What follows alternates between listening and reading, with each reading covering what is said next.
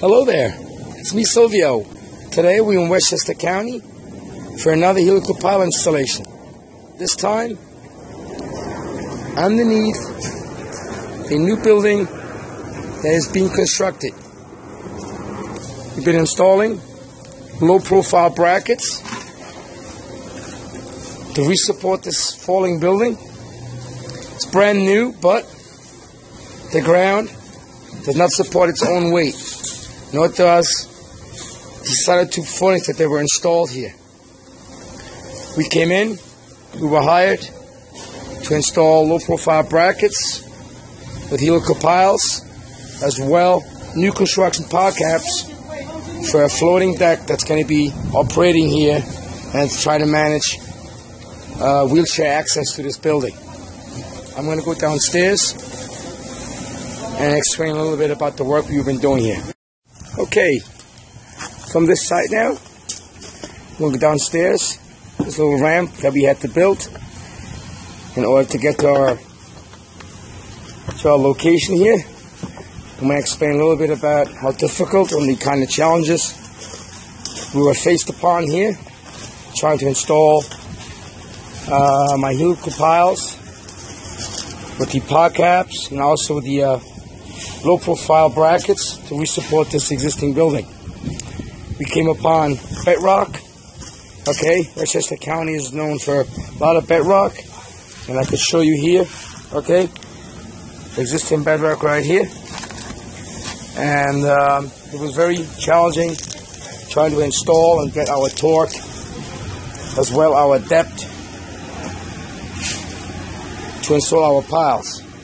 Uh, once you reach bedrock, Obviously, the pile does not advance anymore, and therefore the pile is complete.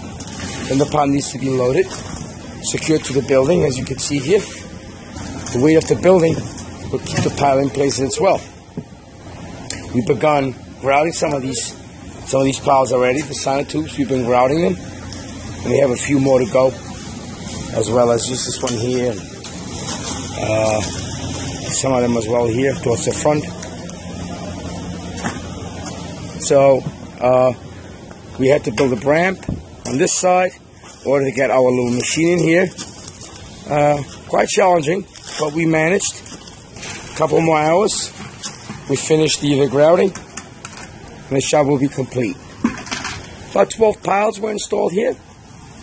The piles that you see on the on the, on the left hand side here, they're going to be supporting a floating deck, a walkway deck to accommodate the wheelchair, wheelchair access to this building, and as well as the second entrance. Okay, I'm going to go around and and show you. This building is situated on a uh, on a cliff. The original construction design called for putting it on sonotubes, but they're not really holding up the weight. We need something a little bit more secure. As you can see here, readjacent to the retaining wall. But we managed to get it going. Okay, our repair work is almost complete here. Just another project. I'm going to wrap this little video up. Once again, thanks for watching. Please follow us on, on Facebook at helicalpilesny.com or subscribe to our YouTube channel for our videos. Thanks for watching. I see you soon on our next project. Thank you.